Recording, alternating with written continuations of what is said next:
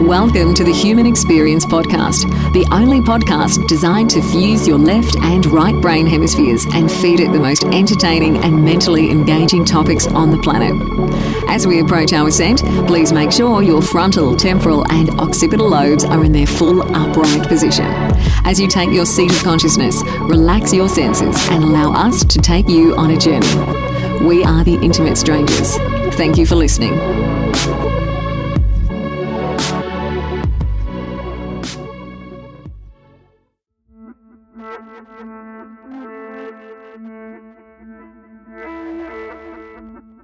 What's up, guys? Xavier Katana here. Such a fun, light-hearted episode with the very warm Michael Marshall Smith, who I would regard as a world-class fiction writer. If you've ever wanted to know what is in the mind of an established writer, from the process to writing itself, and literally everything in between, Michael has been in the realm of fiction writing for at least a few decades, and he has the awards to back up the caliber of his work. So many thanks to Michael for making time to be on the show. Make sure you get to his website, michaelmarshallsmith.com, to get to his work. You can find us on Twitter, Facebook, and YouTube, all at The Human XP. Guys, we survive on listener support, so get to thehumanxp.com slash donate. Buy us a cup of coffee, lunch, or dinner if you're into what we're doing here. It helps us sustain not only the show, but the level of content we can get to you guys on a regular basis. Without much further ado, here is Mr. Michael Marshall Smith. Thank you so much for listening.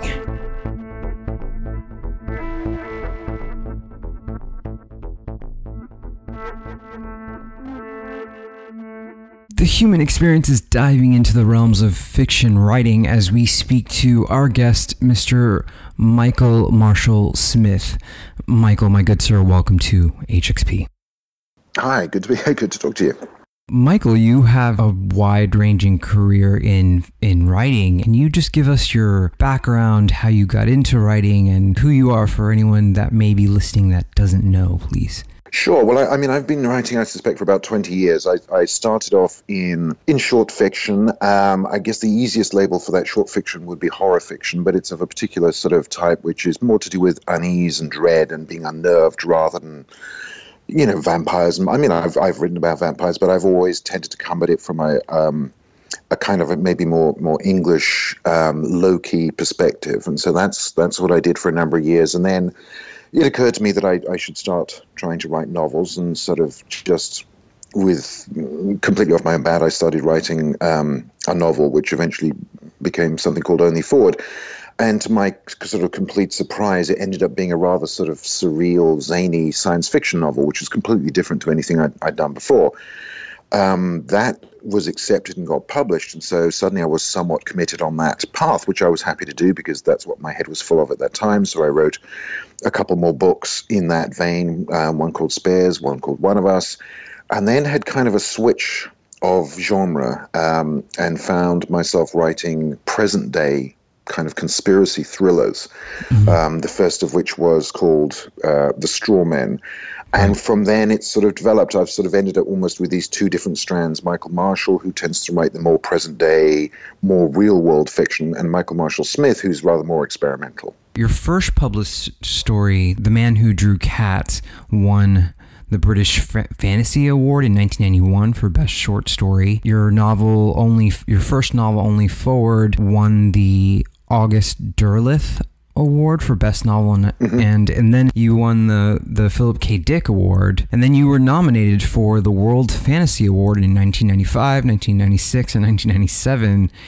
Wow, mm. you're just covered in trophies. for for me, it's it's writing is it, it can be such an excruciating thing. I mean, you just, you're looking at this page, and nowadays, I mean, I guess you're using a computer to write and mm. it's just it's getting past that initial just that blank page that is just staring at you.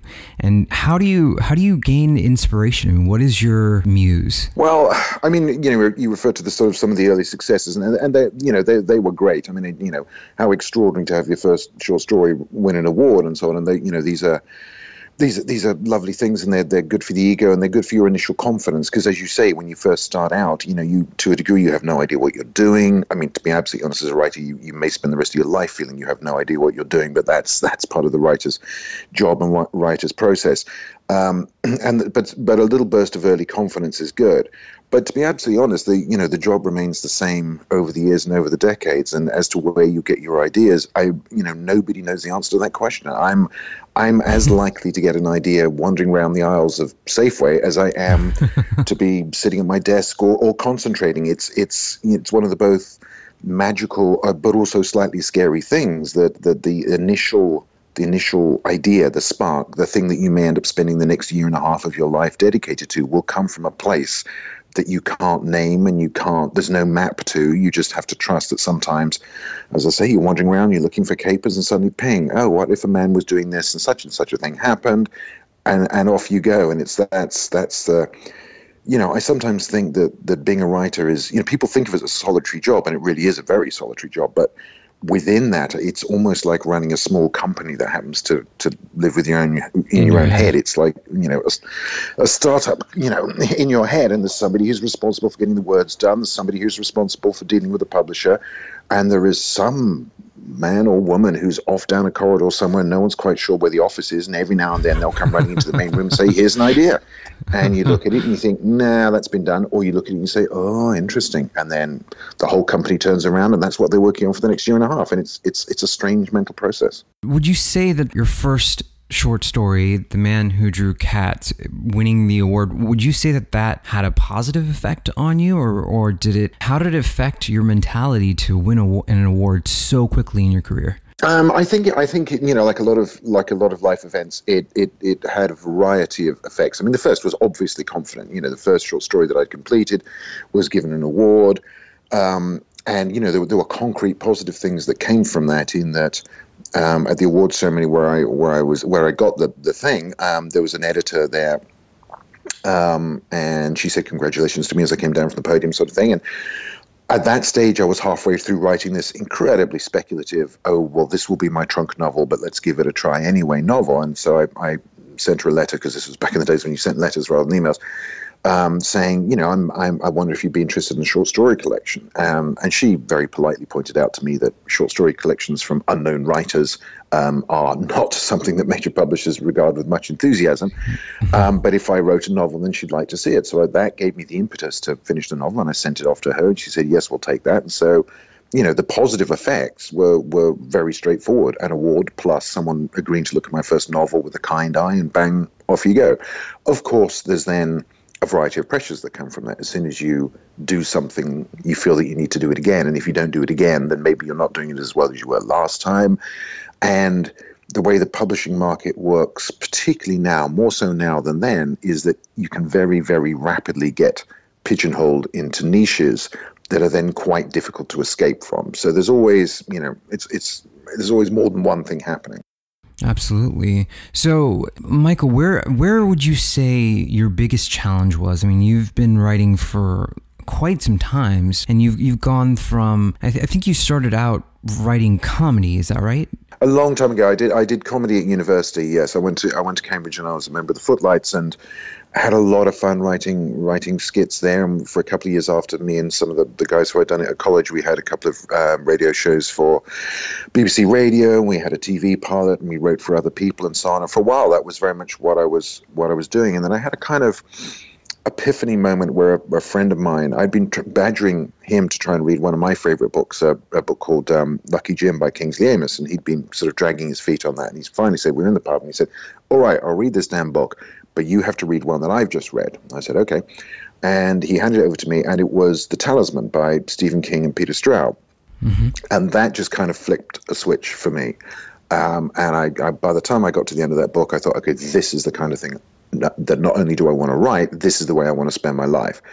And wow. very rapidly, I found that my imagination stopped finding, you know, in those days, if I'd have been wandering around the supermarket, I'd have had an idea for a skit. And then pretty rapidly, it became instead that i would have an idea for a short story. Um, and so that I think was the first thing that sort of dragged me more into that into that sort of area. Okay. You have quite the career. I'm just looking at your biography and you've you've produced for various films. You've done a couple short stories. You've written slash produced. You have writer credits. How how are you accomplishing this? Well, I I mean I, I should stress that a lot of those credits are extremely low and sometimes speculative levels. I mean my, my, my career in the film and TV industry has, has hardly been stellar. Um, but I think you know, in, in, the old day, and this is something that's increasingly true um, of the job or the lifestyle or the life of being a writer, which is that it's not as simple as it used to be. It used to be that there would be a certain amount of money around, and yes, you could be one of the super bestsellers, but there was also a strong mid list. Um, a place where people, you know, wrote books in a timely fashion year after year, and they'd be paid just about enough, and they'd have enough of a career. That mid list has pretty much disappeared in publishing these days. There are now publishers tend to be very focused upon either the guaranteed bestsellers, the people who you know whack it out of the park year after year after year, partly because there's a there's a sitting waiting audience that just sort of perpetuates that situation, and so they're either looking for those or they're looking for the newbies, the people who've, who've wandered in with you know a very interesting first book that mm-hmm. they can then just you know do something with. The idea of people who are producing interesting stuff year after year after year. That's for the time being, and this this is, I hope, cyclic. Um, or something that, that we'll move on from. But for time being, that that area of the market has been quite squeezed out. And so, what a lot of writers are finding is that you need to spread around a bit. You need to you need to try and do a little bit of screenwriting. You need to try and do a little bit of stuff on the web. You need to. It's a it's a portmanteau career rather than just being the the one straight thing. And I think a lot of writers also find that. I mean, I've written, I guess, I think it must be about 90 short stories now. And there are some ideas that come to me, and they're a short story. They're, they're not going to be a novel, and they, they don't feel like they should be a script. They're going to be a story. And, you know, part of the job is trying to recognize what's the best home, what's the best shape for these, sto- for, for these ideas that come to you. Um, and so that's why there tends to be a little bit of variety within people's careers because they're making these sort of strategic choices. What do I do? This is not a book, so what do I do with it? and I'm mm. I've always been comfortable writing in the, in those different formats, and so I, I, I try to keep doing it. Intrigue, um, and I find this process intriguing. So, your first, after your first successful story, you became good friends with a variety of different writers and editors. How did how did having that level of con- contact and interaction, how did that benefit your writing and your kind of your career and and the way you moved forward? Well, I think I think it benefits on a couple of levels. I mean, I started hanging out with with a small coterie of sort of English short story writers who've been nicknamed the Miserablists because at that stage, basically, we were all you know, single guys in our mid 20s living in, in rainy London, writing, to be honest, quite miserable short stories, often often influenced by people like, you know, Ramsey Campbell. So, you know, eerie little tales, generally about sort of, you know, single men or women um, who'd been done wrong by their partner and whose life was going to, you know, going to hell. Um, and what was good about that is that you know, it is, it is a very solitary task, and there are days when you just think, "What am I doing? Why am I doing it? Is anybody going to care?" And to occasionally, you know, it's partly having other people re- read your stuff, but it's pros, it's also, in some ways, more importantly, just having some peers and some like-minded people to hang out with. I mean, particularly with horror writers, you get a bunch of horror writers in a pub you'll notice two things. One, they never talk about writing. And mm. two, it'll be the most fun you've ever had because they tend to be extremely light-hearted people. You know, I think people think of horror writers as these really grim, dark, gothic people, right. but they never are. They tend to be just just people who like a beer and like like a chat. Um, yeah. And so, if you're trying to forge a fairly solitary lifestyle as a writer, then having that recourse from people who do to spend some time with people who do understand the kind of thing you're doing is important. But I think also from a more career and commercial point of view, it's also it's like when, when people ask me, you know, how do I become a writer? What are the early steps, particularly in genre fiction? Mm-hmm. I think the most important thing you can do is to go to some good conventions because partly you'll meet like-minded people, partly also in the bar you may meet the the woman or man who uh, going to be the person who's six months from now is putting together an anthology on a particular topic, and if they've met you and if they've read your other stuff, then they are more likely to look with favor upon something that you submit. And so, you know, people meeting people like Ellen Datlow, or in particular, you know, man who's you know gone on to be you know my best friend Stephen Jones, who's an absolute titan in the in the the figure of genre fiction. There's no question that meeting these people and being inspired by them and you know having them give you confidence and support uh, it's it's desperately important particularly in the early stages when you were writing your own fiction you were working as a graphic designer and uh, you were in the corporate world earning a living mm. I mean, mm. how did how did your writing routine kind of vary from back then and where you are now earning a living as a, a writer now because I, I imagine that writing books when you're starting out can't pay very well and i mean it must be difficult to earn a living as as a writer it is. I mean, I, you know, short stories pay next to nothing, to be absolutely honest. And for a long time, that's that's what I was doing. I mean, I, you know, you write short stories partly for the love of it. You know, if you like the form. I mean, I see, I think there are certain ideas in certain genre, and you know, dark fiction, I think, is definitely one of them, where a lot of the best work is actually done in the short story form. So there's many reasons to love it for its own sake, but it's also a way of, of, of basically refining your craft, getting a sense of what kind of writer you are, what kind of thing you're interested in, what your voice on the page is going to sound like. Mm-hmm. But you're right; they, you know, you, you, they won't buy you a cup of coffee, to be absolutely honest. Um, and in terms of working as a graphic designer, I was a kind of fake graphic designer. I, I I got a day job because I needed one. Um, I had by that point already made the decision that actually I was going to try to be a writer, so I just needed to find something to do. And I was working for this company. And this is back in the days when all graphic design was was you know some weird magical process where you gave the words to somebody, they took them off, they made bromides out of it, they were cut up, they were cut back. And my father, who was an academic, happened to get a deal on a on a very early um, Macintosh and I basically took that over from him and, and rapidly realized that you know the desktop publishing revolution was actually going to change everything. And so I kind of sideswiped into saying, okay, all this stuff which is taking you days at a time, I can do this in half an hour. And so I basically kind of blagged, as we say in England, my, myself a, a semi career as a graphic designer because you know I can I could copy stuff, and that basically was was a way I earned a living. I also wrote corporate videos, um, which are you know basically training videos for corporate guys. So basically, I was just finding a way of using my my limited skills to to pay the bills while I while I wrote, um, and I didn't actually go full time as a writer for quite a long I, until after I think it was just before my second book came out because I lucked into an opportunity to do a massive sort of screenwriting job, which was converting Clive Barker's uh, Weaveworld into a, a eight part TV series, which has still not seen the light of day 20 years later. But it was enough that I, I, I, took the plunge and said, okay, I'm getting just about enough money here that I'm going to call myself a writer and go with it. And that's, that's basically what happened. Wow. Yeah, it's intriguing. Is there a certain type of genre or what is your opinion on genres as a whole do you find them to be restrictive or do you find that when you pick a specific genre that it helps do certain genres help books sell better? I think the I think the genre issue is a, is a very naughty one, and you, and you talk to writers, and they all have very different takes on it. Sometimes it can be extremely helpful. It depends what genre you're in. Crime, for example, crime or mystery, is a very marketable, profitable reputable genre. If you say that you're a crime writer, then people go, "Oh, okay, you write those mysteries. They're very successful. I like mysteries." It's you know that that can be that can be a great help. Um, there are certain other genres. If you say you're a science fiction writer, then people go, "Oh, that's kind of nerdy." I'm sure you know some of those you know people with glasses you know might might enjoy that, but it doesn't sound like my kind of thing. Although, having said that, they will then happily watch um, science fiction material in the cinema but they don't think that it's the kind of thing they want to read. And at the very bottom of the pile is you, know, you kind of almost don't want to say you're a horror writer because people will just dismiss that as the sort of you know it's the it's the true ghetto fiction, despite mm-hmm. the fact that you know some of the great.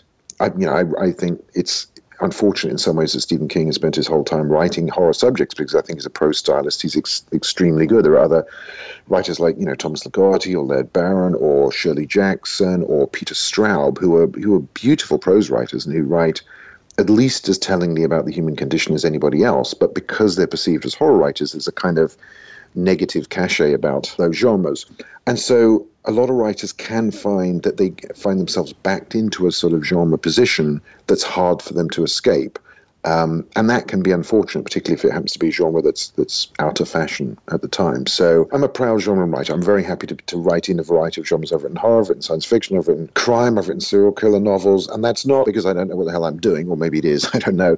But it's there's something about each of these different fields that appeals, and I kind of don't see why I should limit myself. It's a bit like saying to a painter, okay, great, you have to only use blues for the rest of your life. And it's like, well, there's a lot you can do with blue, right. but I'd like yeah. access to some of the other some of the other colors. And I and you know, as as the best genre fiction writers demonstrate, there's absolutely no reason why you can't outwrite anybody in sort of pure literary fiction. Plus, you get to have monsters and cool stuff and a sense of wonder and, and all that other stuff. So, for me, it's getting the best of both worlds, but you have to be aware that is a career decision. Yeah, absolutely. Uh, Michael, when you're when you're coming up with characters for your your novels, your book, do they reflect people that you encounter in your real in your life or I mean, is this just purely imaginational thinking? Yeah, I, mean, how, I, how I, never do the the sort of roman à clef reflection of people in real life. It's just never it's just never to, to be absolutely honest, characters come to me. I am um, I don't make them up. The the way a book tends to start for me is that I will have a basic idea. Uh, it'll be a sort of, oh, what, what if? Or wouldn't it be weird if? Or uh, wouldn't it be horrible if? Um, and that tends to be the basic idea. And then around that, to a degree outside my control, initially, some possible environments and events will start to accrete in my mind. And with that will come some characters. Um, often a sort of sense of voice, and then there'll be a couple of core people um, who basically just arrive in my head and say, okay, well, I'm part of this thing. Um, I'm going to be one of the people who are involved in this situation and maybe driving it. And that tends to be the initial kit that I'm delivered with by whoever it is who works off down the corridor in the in the you know novel writing startup business. Then comes the bit where you have to say, okay, if this looks like what I'm going to be doing next, what else do I need? And you say, well, I probably need a character who's a bit like that actually, I probably need to involve this kind of environmental situation. This kind of event will probably need to happen. And that's when you start to make some sort of conscious decisions as opposed to just accepting what it is that your back brain has handed to you. Mm-hmm. Um, and then that's the point at which a lot of grown up authors would sit down and say, okay, he was a whacking great sheet of paper. I'm now going to rigorously plan this out so that I have everything worked out. Yeah, yeah. Uh, I am unfortunately not a grown up writer. I still um, tend to prefer or I'm constrained to work in a far more sort of free form. Okay, I've got a sense of what's happening here, a sense of where I'm going. Let's just sit down and see what happens.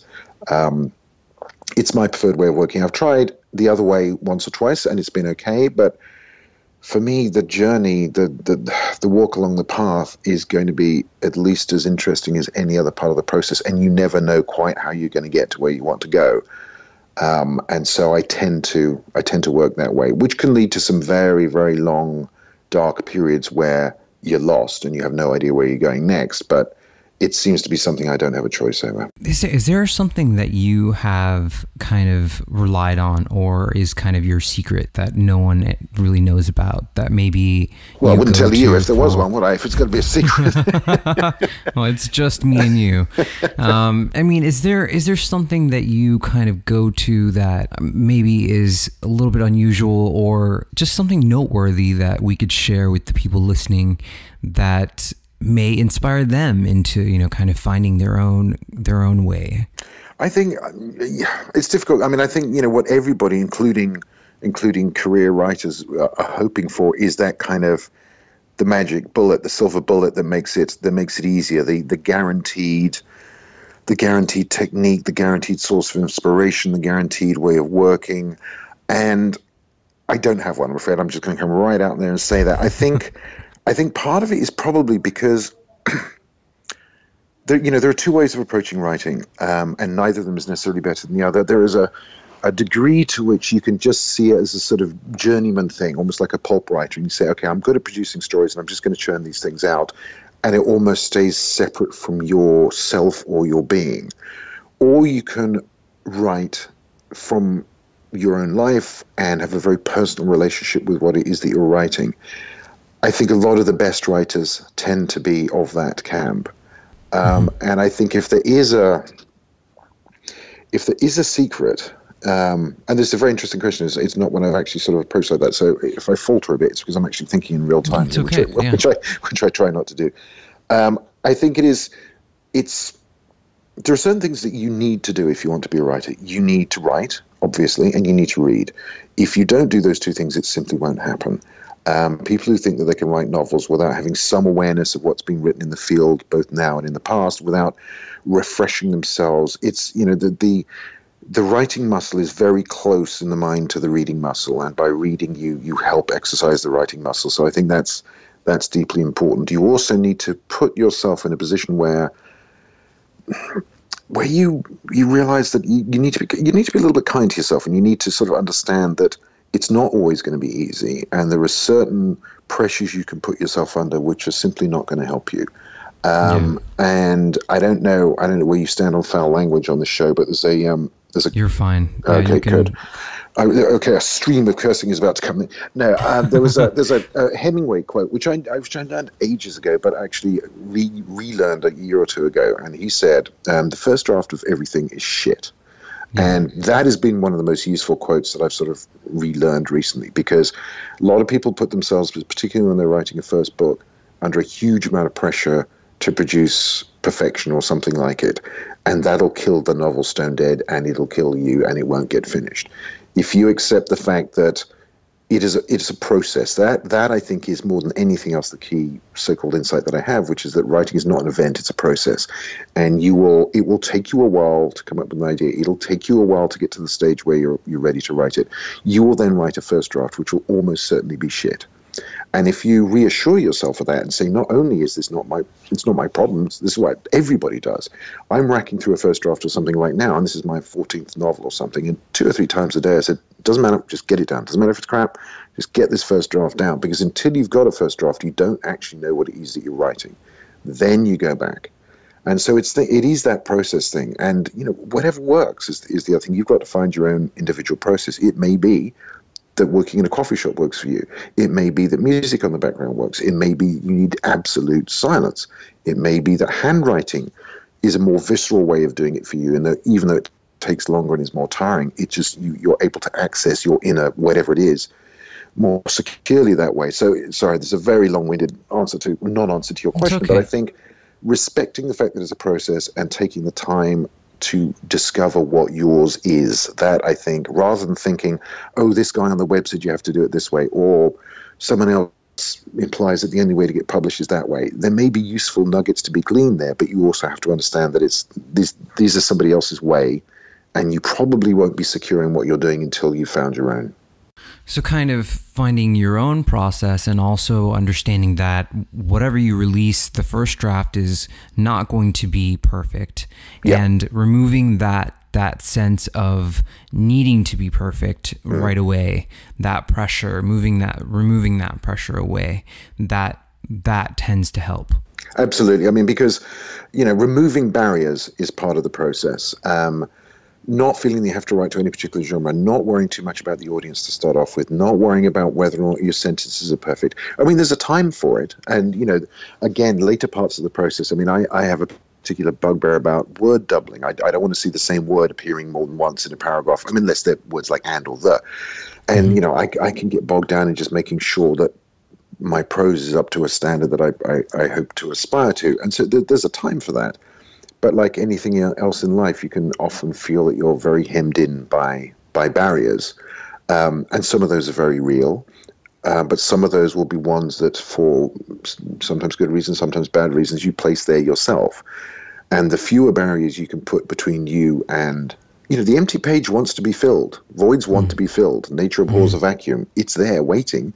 You mm. just have to get the barriers out of the way. Yeah, wow, that's very profound. So something something Michael that you do is you shift between these two names. You mm. shift between using Michael Marshall Smith and then just Michael Marshall. What prompted this modified name uh, idea and how and in what ways would you feel that that you know writing under these these separate names affect your writing? Well, it's. I mean, the the the truthful answer to that is that it was initially not my decision. I mean, basically, I'd written dark, you know, horror-ish fiction, short fiction for a number of years under the name Michael Marshall Smith. I then wrote um, my first book, Only Forward, which, as I say, is set in the future. Therefore, was theoretically science fiction, although it's it's kind of surreal and has a lot of darkness in it didn't seem any big deal for me because, as far as I was concerned, it was all just speculative, weird fiction that had a, a fairly similar voice going through it. But then, after writing two more books of that type, Spares and One of Us, I'd always been fascinated by the idea of, by the phenomenon of serial killers. And I thought I had a take on it along the lines that, you know, we tend to as you know, as we see so often in life, we tend to ring fence certain types of behavior and say, okay, that's not us. This is unrelenting evil that we cannot understand. And that's quite a comforting way of approaching the world. But it seemed to me that serial killing actually represented a, the far extreme of a kind of neurotic behavior that we're all to one degree or another prey to. And I read up, I spent a lot of time, and this was sort of a hobby because I was writing the other fiction at the time, reading a lot around the area of serial killers and and becoming more and more convinced that actually they weren't that different. I mean, in some ways they horrifically are, and this is not a defense of serial killers in any way. But anyway, I felt I had a take on it, um, and eventually thought, okay, I'm going to write this. So I wrote a book called The Straw Men, um, which initially had some fantastical elements in it, but in the end wound up being a conspiracy-led modern day mystery novel that had quite a different I mean the voice was similar but the texture was different partly because it was less humor than had previously been in before because I thought mm-hmm. you know serial killers they're not funny let's not let's you know rack down the jokes um, and it wasn't set in the future because I thought, you know, I want to try and make a point here. If I set this in the future, that can be distancing. So let's set it in the present day. Either way, I ended up with a novel that was actually you know, qualitatively quite different in some ways to a publisher's eyes. And they looked at this and they said, seriously, well, hang on, you write the science fiction stuff with the jokes and the talking fridges. What's this? um, but they they liked it enough and felt it had enough potential that they were prepared to you know publish it as my next novel. And it's probably actually Straw Men has been the most successful thing I ever did or I've done so far. But they said we're going to have a problem here because readers come to you expecting one type of thing and you've handed them something which is completely not that type of thing. Right. Also, there may be a new audience out there who, who didn't want the strange science fiction, but will be up for this kind of thing. You know, because it wasn't that long after the sort of the, the big Thomas Harris, I forget what it's called, the, the fourth one of those. Um, and so my American publisher said, how about we, we do some sort of name change just to signal to people. And I came up with the idea of saying, okay, well, I'm not going to change it to something completely different because that would be weird to me. How about I just lop off the Smith? Uh, and they said, okay, we'll, we'll go with it. And, and, at the time, I sort of, because there's a, you know, I'm sure you're aware of the, the sadly deceased, you know, British writer Iain Banks, who, who wrote more general fiction under Iain Banks and then used Iain M. Banks for um, uh, for speculative science fiction, or maybe the other way around. Um, and I thought, okay, there's a precedent there. Maybe you can have two strands. So you write the very weird, speculative cross-genre stuff under Michael Marshall Smith, and something that is a little bit more grounded in very commercial fiction you write under under Michael Marshall.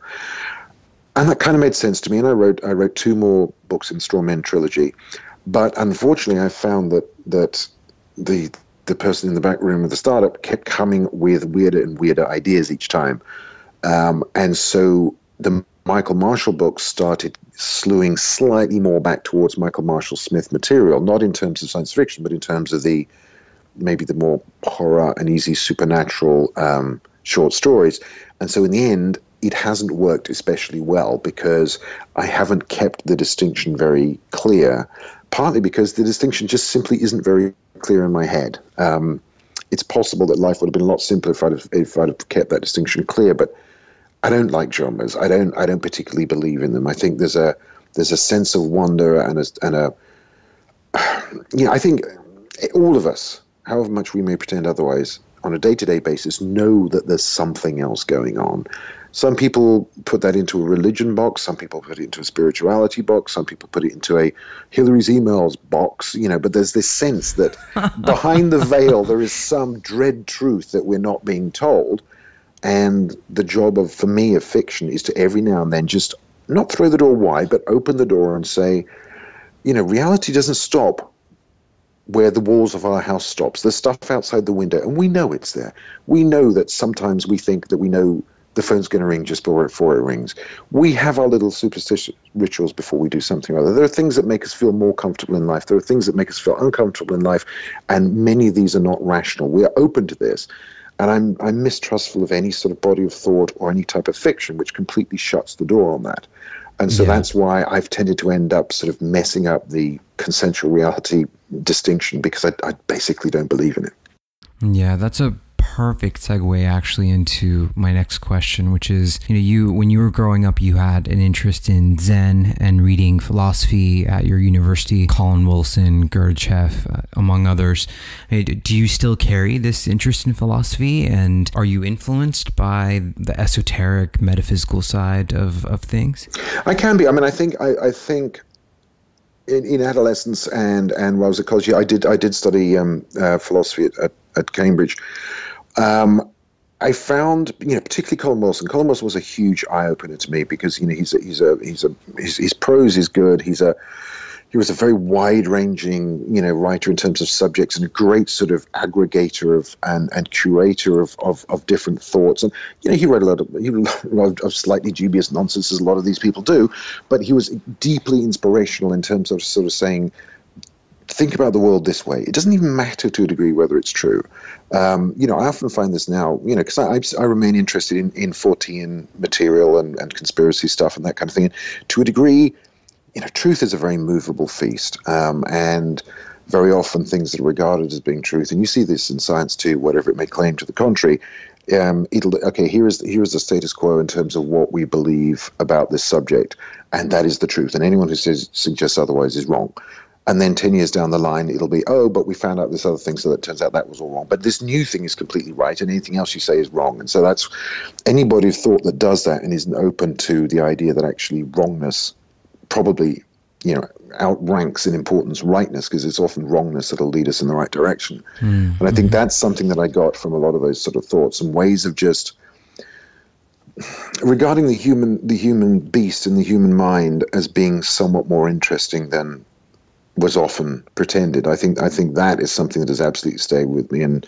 in the last couple of years, for a variety of reasons, I've ended up, you know, finally getting re- around to reading some Jung and some of his sort of interpreters in a way that I can't believe I never really had before. But maybe, you know, and again, it's going to sound a little bit esoteric, but maybe, you know, certain things come to you at the right time when when your life is ready when you are ready to receive them um, yeah. and you know i'm not a particularly woo woo i'm not a particularly hippie person in general but i i, I am prepared to think that there are currents in our life. There is there is development that happens within something that might as well be called a soul, and that every now and then life will bring you up to certain points and make you realize things about yourself. And that's when you're you should be open to the broader ways of trying to explain them, right, rather than trying to stuff them into very small boxes. So yeah, I'm still I'm still interested in that kind of stuff. And I think that in a previous interview, you you said that one of your biggest influences or one of your most influential things was serendipity and you mm. you mentioned an example in your story one of us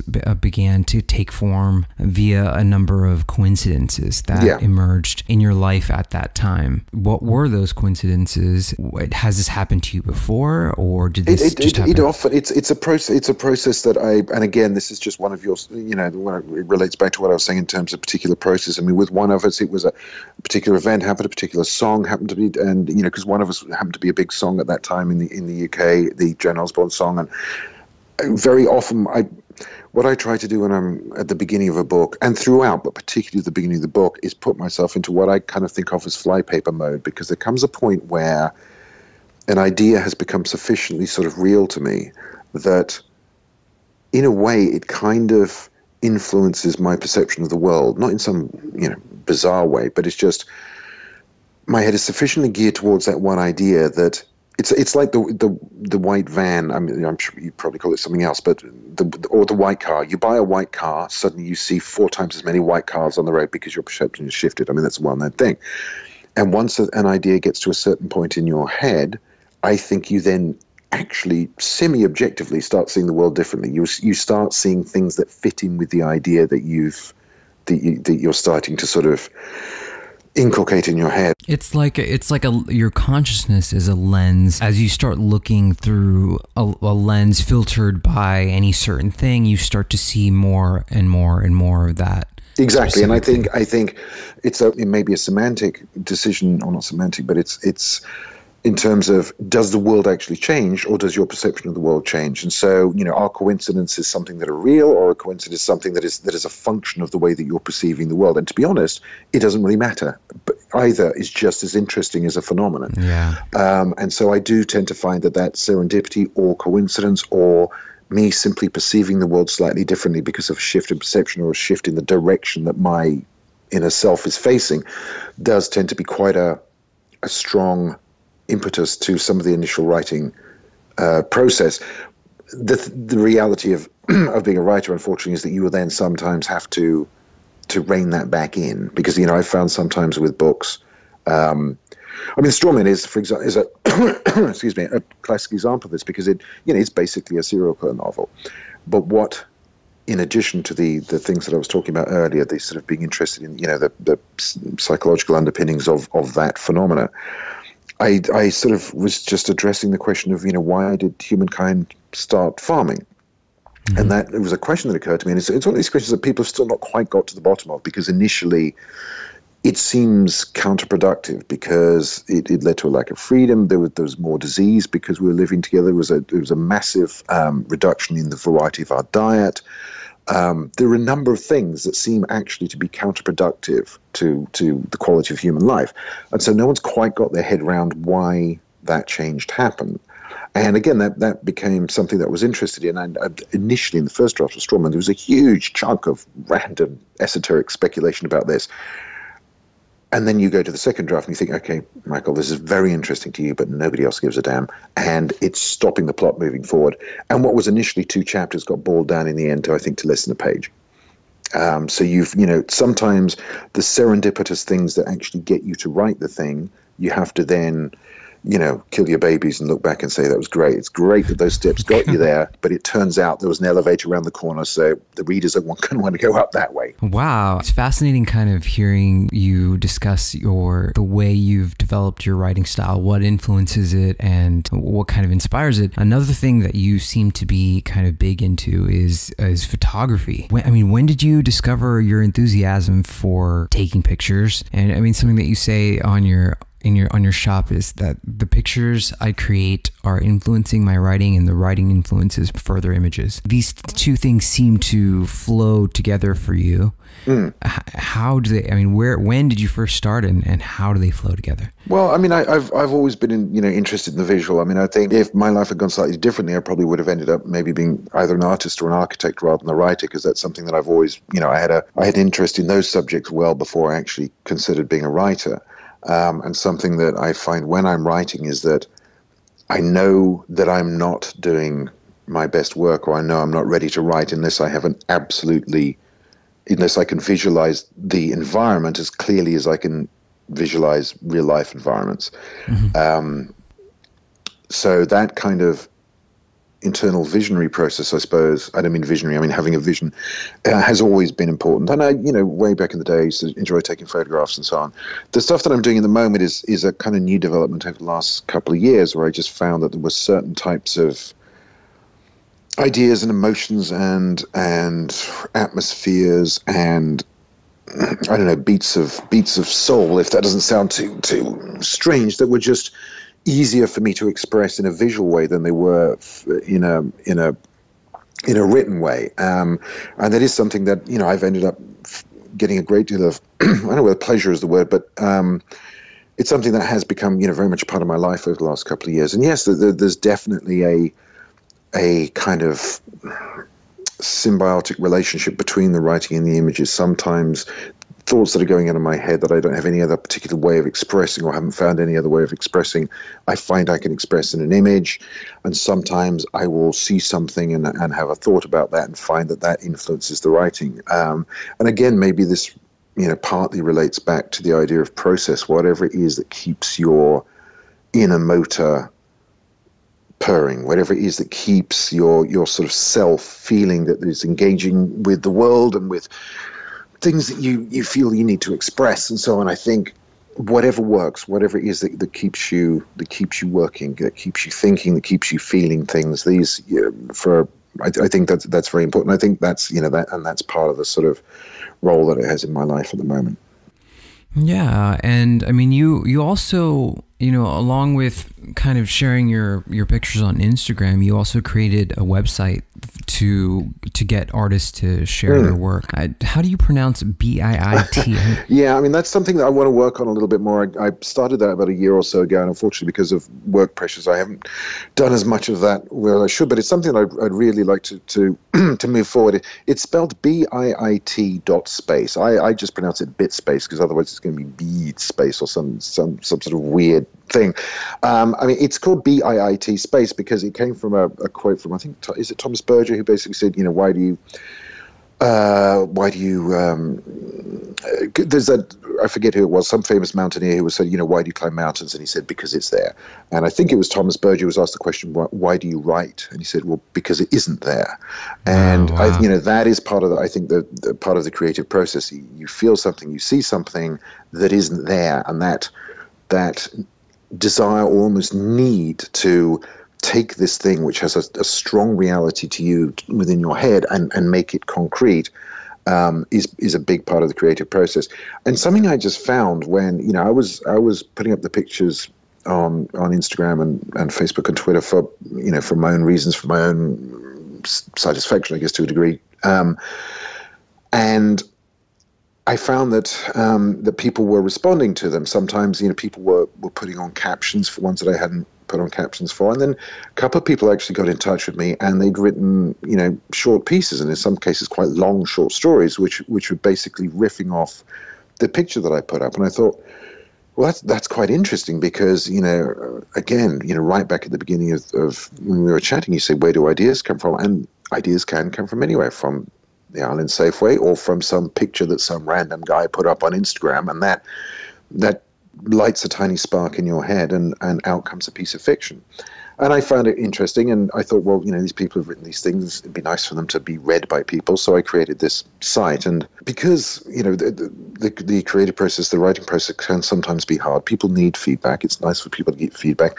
and it's also nice if there's anything that can help people in terms of saying, okay, well, maybe one of these images will help you to put them up. And so that's what I started doing with the website. It, you know, there's there's 40 or 50 pieces up there now where, and it's not just my pictures. There's a couple of other people who are contributing pictures now, and there's also some music. There's a couple of, I mean, I, I way back in the day used to do a bit of music and so on, sort of um, about derivative soundtrack type stuff. So I put up those, and a, a, a musician friend of mine called uh, Suzanne Barbieri in the UK has put up some stuff. And as I say, it's I really want to sort of take this to a kind of phase two, but it needs it needs far more more sophisticated software to do it, and it needs more more time for me. So when I'm finished this this new book that I'm writing, I'm hoping to give that a little bit more time. Definitely does sound interesting to to have you kind of leading these these other writers and picture takers and and and starting that up. So, Michael, I have kind of a, a funny, interesting story for you. I I happen to be part of this. It's it's a group of about forty people. We're friends, and we just kind of have like a Facebook group that we kind of just hang out in. One day, a few weeks ago, a month ago,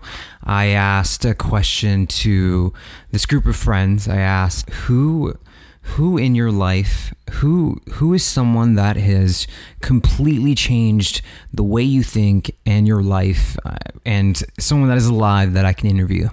And your name came up and uh, the person who mentioned your name uh, her name is Louise. Mm-hmm. Louise has a few questions for you. She wants to know has your relationship with writing changed over the years yeah, well, a hi Louise, if you're listening, that's an incredibly nice thing to hear, and, and thank you. Uh, yes, it has changed. Um, I mean, a sort of sub question that you asked earlier that I somehow wandered away from um, was how the process of writing has changed. When I was first doing the graphic design stuff and so on, when you first start writing, it's it's a kind of romantic quest. It's you versus the world. It's it's something that nobody else knows or believes you can do. And to be absolutely honest, you don't know or, or believe that you can do either. And there's, you know, you, will be doing some other job to to pay for your time and to pay for the stuff that you need.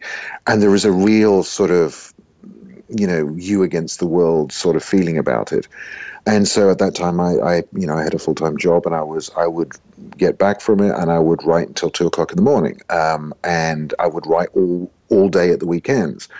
Um, and it had that sort of feeling about it. And I always actually felt that I did a lot of my best work at about nine o'clock, 10 o'clock, 11 o'clock in the evening because the world was quiet. Nobody's phoning you up. There's no pressures.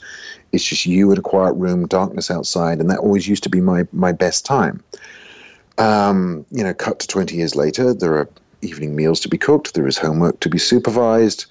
Um, I have been a professional writer for for two decades. Um, that doesn't work anymore. That that that's that kind of process has had to evolve. So on two levels. One, the way in which you do it changes because the way, because of the way one's life circumstances change, but also it stops being a solitary quest and it starts being a job. Um, you have deadlines. You have expectations from readers and publishers. You have expectations which you set yourself in terms of saying okay, well, that's not quite good enough, or hang on a minute, that's just the same thing again. Shouldn't you be still evolving? Shouldn't you be doing something different? Shouldn't this? So it becomes, on the one hand, it becomes easier because you've done it for a long time. On the other hand, it becomes harder because you've done it for a long time. Mm. Um, so yeah, difficult question. Yeah, she Louise also wants to know: Do you enjoy the process of, of writing? Have you ever felt uninspired to write? And if so, what did you do to kind of re-inspire yourself? There are many, many, many, many, many occasions on which I felt uninspired, uh, uninspired to write. There are many, many, many occasions on which I wish I had any other job in the world. Mm. It's you know, as anyone who's tried to do it, it's not, it's not, it's not easy, and sometimes it's a life sentence too. I mean, there's a great uh, quote from the screenwriter Lawrence Kasdan who says, you know, being a writer is like having homework every night for the rest of your life, and that's that's true. There is a, there, it picks at you. It says, yeah, you should be doing this, you should be doing this, you should be doing this. It's not something you can sort of take time off from, and that will sometimes wear you down. And having said which, there are days where I will sit down and I will then look up four hours later and have no idea what happened and find that I wrote two thousand words, and that those those are those are semi magical times, and it's a bit where on those afternoons or even those half hours where stuff just comes out of the back of your head and you think, oh, I have no idea where this is coming from, but it seems to be working, so I'll just keep typing it down while while it's still happening. Those are those are great, you know, that you feel quite integrated as a as a person. You feel you're doing something that's that's distinctively you. Those are those are great moments. Um, I would say they are numbered in, in me approximately fifty to one by the times when it's a struggle and it's uninspired. And during those periods, you have to do two things. One, remember that you know being a being a quotes artist is a job, and if you wait for inspiration, then it'll never happen and you know, it's it's uh, again there's a, that great Thurber quote about you know the old newspaperman's quote says, "I don't want it perfect, I want it Tuesday." And a lot of being a writer is doing that. You just need to get the stuff down and then worry mm. later about whether it's any good. And then the other part of it is to again refer back to something I said earlier: discovering your process, discovering the fact that there will be days when you get no words done, but if you go out and you walk around the street and you have that half inkling that says, oh, maybe I need to do this, that's worth a day in which you write 3,000 words. Because yeah, wow. ultimately, piecing together those sort of insights will be what gets the job done. You know, cranking out words, that shouldn't be hard. If cranking out words is hard, then you might want to consider another job. But it's chasing those will o' the wisp ideas and the internal man management. That's that's the stuff that you need to sort of learn about yourself. Louise also she says that she's read that you don't like to discuss an idea, novel, or story before it's finished. Yes. So how how do you cho- how do you choose the ideas that you are going to work on? Uh, yeah, I, it's true. I have an almost pathological, definitely superstitious fear of discussing an idea beforehand. But to me, it always feels it's almost like telling the punchline of a joke before you've before you've told the other bits. It's partly that, and it's mm-hmm. partly because to a possibly excessive degree, I do get sort of rather invested emotionally and personally in the stuff that I write. I don't, for all I've just said about it being a job, I don't, you know, at heart feel like that. It, you know, each each of the things I've written, a lot of me goes into them, and so they do feel extremely personal. And, and despite the fact that you know I splurge out all this stuff on, on in, into books, I'm actually extremely private, rather rather introverted, and I don't let this stuff out um, just by saying it. it. If it's if it's going to come out, I need to have written it and spent a lot of time with it and sort of got it to the point where I think, okay, this is okay. This is worth reading. This is. I feel that I've said the thing that I wanted to say, and so that's the that's the process that I personally need to go through. Publishers hate this because what they want before you start, and certainly when they're buying a new book or a new slate of books, is they want to be told what they're getting. And so there is that process where you have to write down a proposal for books. Um, and that that is one of my least favorite parts of the whole thing because it feels like I'm just sort of you know it feels like I'm walking naked down the street at that stage, and that's something that I do not enjoy doing. Um, so in terms of the, the the further bit of the question is, it's a it's a gut feeling with ideas. For me, what I tend to do is if I think I've got an idea for a novel, I don't write it down. I have huge files of other stuff, little snatches of random dialogue, observations, you know, s- sketches of places, ideas for, for little things. But if I think, oh, that might be a novel idea, I deliberately don't write it down because I think if it takes writing down for you to remember it, that's not going to get you through a year. Hmm. And so I tend to just leave those. And what I tend to find with the ones that I've ended up committing to is that flypaper mode switches on and other ideas will start to to stick to them. A character or a fuzzy idea of a character will wander in from someone and say, you know, that idea that you had, I could be part of that. Or I'll go a place and think, ah, this is the kind of place where this kind of thing could happen. Um, and so I, and again, this is just a deeply personal, you know, process and probably wouldn't work for anybody else, but it tends to be to me. The ideas have to prove themselves to me. I don't pick them. They they eventually keep they just it's like the man from Porlock, but in reverse. They they just keep knocking at your door saying, "Don't forget about me because I'm your next thing." And sometimes sometimes it may take ten years. The the book I'm writing at the moment, I had the first inklings of the idea for it about a decade ago. Wow. It's never been the next thing that I wanted to do until four months ago when I started the first draft. So it's you know it's a, it's a long and winding road at times, and you just have to trust that in the end you'll get where you want to be.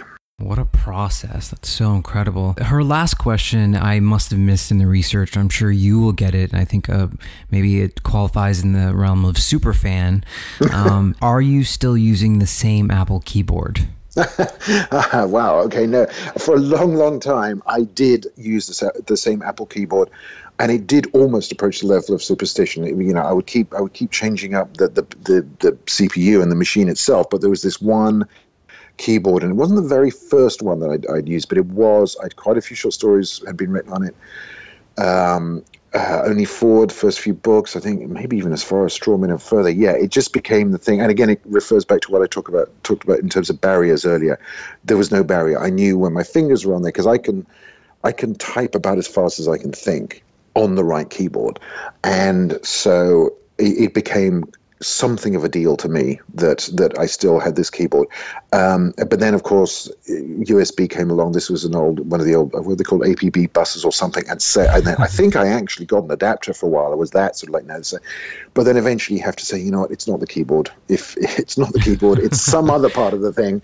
It's not Yeah. the keyboard. I still have the keyboard. Um, I don't currently have a, a study. I'm working on the the living room table at the moment because that's that's sort of working for me. But somewhere in the house is that keyboard, and yeah, that that meant a thing. But no, I no, it's it's you've got to yeah. I mean, I must say that you know some of the stuff that I've said in answer to. Uh, well, I must say, very interesting questions, and thank you for that. It makes it sound as though I've got this this whole thing worked out, some complicated, you know, some very well worked out process. It's it's been chaotic throughout. I, I just I just do what seems to sort of make sense, and hope that you know, as I say, I'll I'll, I'll get No, I, I thoroughly we're you know we're we're running out of time here. I thoroughly enjoyed this conversation. It was Well, thank you. really Me too. really fun to uh, just kind of dive into you know the mind of, of someone I I deem successful at, in in writing and you've been doing this for quite a while. I mean, I Mm. want to give you the opportunity to. I mean, is is there something that you would kind of send to your fans, a message, anything like that? Well, uh, purely and simple, you know, thank you for reading because, you know, it goes without saying that without people reading uh, and without kind comments and, uh, you know, I, I wouldn't have the freedom and the and the, the luxury to do what I do. Um, you know, I work hard at it and I hope I hope there's stuff out there which is which is resonant with which is worth reading. And also just to say simply, you know, I, I'm on Twitter. I've got a I've got a website. Um, I'm on Instagram. You know, please get in touch. Please just let me know your thoughts. Ask me any questions you want to know. Why don't you give us your uh, your website and your Twitter, please? Yeah, the the website is um, www.michaelmarshallsmith.com, Okay. and both Twitter and Instagram are at, and it's E M E M E S S, all as one word. So basically, that's M M S, which is Michael Marshall Smith, done phonetically. Okay. So it's E M E M E S S. So yeah, please get in touch. Um, always happy to hear. Always happy to sort of answer any questions. And as I say, you know, thank you for enabling me to do what I do. Yeah, we'll definitely make the website and the link to your Instagram and Twitter available when we put this episode out. Michael, it's been a pleasure, sir. Thank you so much for lending us your time and making the time to to talk to us. Absolute pleasure to say thank you for the questions. Probably the most interesting questions I've ever been asked. So it's been a total pleasure. You guys have been listening to The Human Experience. We have been talking to Mr. Michael Marshall Smith. Thank you guys so much for listening. We will get to you guys next week.